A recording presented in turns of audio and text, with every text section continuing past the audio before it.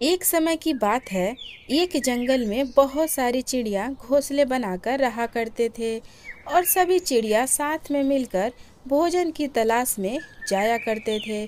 कुछ ही समय बाद बरसात का मौसम शुरू होने वाला था, तभी टूनी चिड़िया बोलती है, लग रहा है बरसात का मौसम शुरू होने वाला है, उसके बाद ठंडी का मौसम आ जाएगा, जंगल की सारी लकड़ियाँ भी भीग जाएँगी मैं ऐसा करती हूँ कि पहले ही सारी लकड़ियाँ लाकर अपने घोंसले के पास रख देती हूँ, ताकि ठंड के मौसम में अपने घोंसले को गर्म कर सकूँ।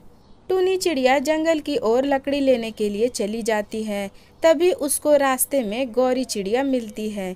गौरी चिड़िया टूनी चिड़िया से कहती है टूनी, तुम इतनी जल्दी में कहाँ जा रही हो? मुझे भी बताओ, मैं भी तुम्हारे साथ चलूँगी। बारिश शुरू होने वाली है, तुम अकेले क्यों जा रही हो?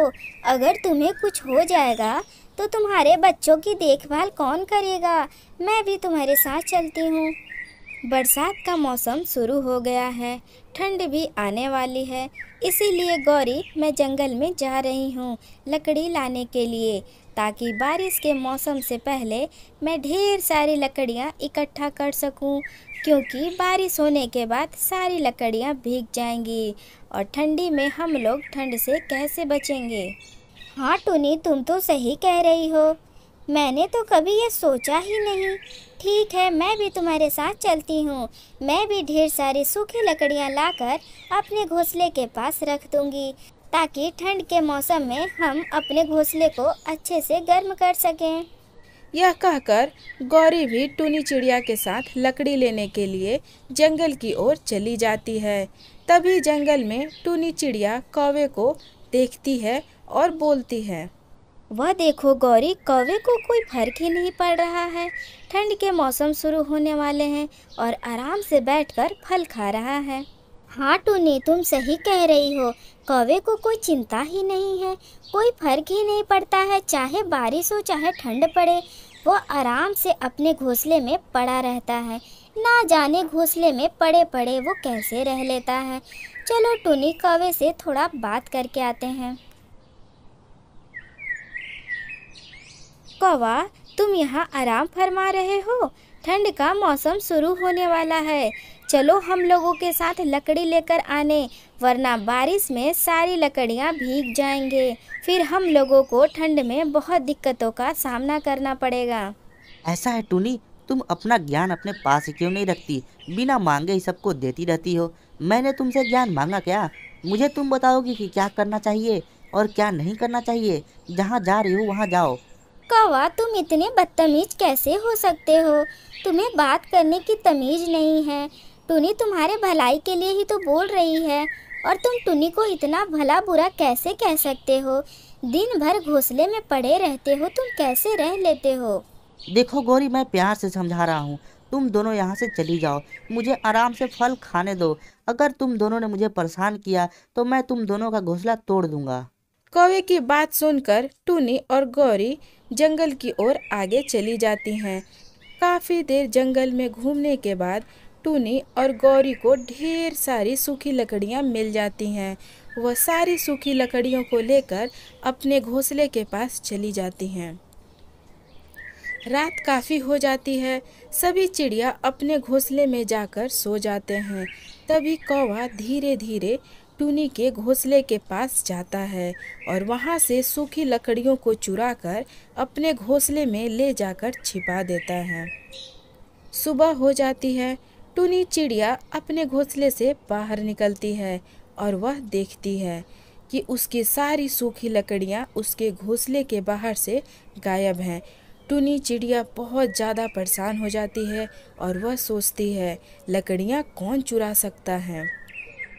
तभी टूनी चिड़िया गौरी चिड़िया के पास जाती है। तुमको पता है, मेरे घोंसले के बाहर से सारी सूखी लकड़ियाँ किसी ने चोरी कर लिया है। हो ना हो हमको तो लगता है कहीं न कहीं कौवे ने ही लकड़ी चोरी की है। उसको तो कोई काम धंधा है नहीं बस लोगों का सामान चोरी करना है। टूनी चिड़िया उदास होकर अपने घोंसले की ओर चली जाती है। अगली सुबह गौरी चिड़िया के घोंसले के बाहर से भी सारी सूखी लकड़ियाँ गायब मिलती हैं। दुष्ट कौवा मैं तुम्हें छोड़ूँगी नहीं मुझे पूरा यकीन है। कि तुमने ही मेरी और टूनी की सारी लकड़ी चोरी की है। कुछ समय इसी तरह बीत जाता है।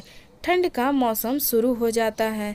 सारी चिड़िया ठंड से परेशान हो जाती हैं और उधर कौवा अपने घर में लकड़ियाँ जलाकर अपने घोंसले को गर्म कर रहा था।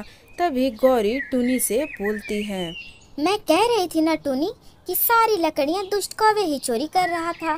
देखो कैसे मज़े ले रहा है। इसी बीच कौवा टूनी चिड़िया और गौरी चिड़िया के पास जाता है और दोनों से कहता है आज मेरे घर पर पार्टी है तुम दोनों ज़रूर आना और बाकी चिड़ियों को भी बोल देता हूँ। हे भगवान कितनी ठंडी है यहाँ। मैं जा रहा हूँ। मुझे तो बहुत ठंड लग रही है तुम्हारे घर में। जा जा दुष्ट कौवा। आज तू मेरे जाल में नहीं फंसा तो मेरा नाम भी टूनी नहीं। सभी चिड़िया कौवे के यहाँ पार्टी में चली जाती हैं। और समय देखकर कौवे पर हमला कर देती हैं। कौवा जान बचाकर किसी तरह वहाँ से भाग जाता है।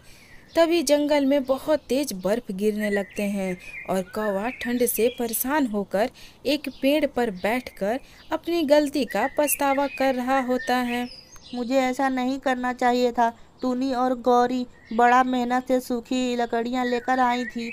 मैंने उन दोनों के साथ बहुत गलत किया। मैं जा रहा हूँ उन लोगों से माफ़ी मांगने। टूनी, गौरी, तुम दोनों मुझे माफ़ कर दो। मैं तुम दोनों के साथ बहुत गलत किया। मुझे तुम्हारी सूखी लकड़ियाँ नहीं चुरानी चाहिए थी। मुझे पता चल गया है तुम लोगों ने कितने मेहनत करके इतनी सारी लकड़ियों को इकट्ठा किया था। मैं चुरा कर अपने घोंसले को गर्म कर लिया। तुम दोनों को ठंड में छोड़ दिया। मुझे तुम माफ़ कर दो। ठीक है, कवा। लेकिन अगली बार अपनी मेहनत से काम करना, क्योंकि मेहनत करने से सफलता ज़रूर मिलती है। कौवे को अपनी गलती का एहसास हो जाता है और कौवा मेहनत करके अपना काम शुरू कर देता है। सारी चिड़िया मिलकर खुशी खुशी सूखी लकड़ियाँ जलाकर ठंड से बच जाती हैं और खुशी खुशी जंगल में रहने लगती हैं। दोस्तों, अगर आपको चिड़िया वाला कार्टून, टूनी चिड़िया की कहानी और मोरल स्टोरीज देखना पसंद है तो चैनल को सब्सक्राइब करें और इस वीडियो को लाइक करें।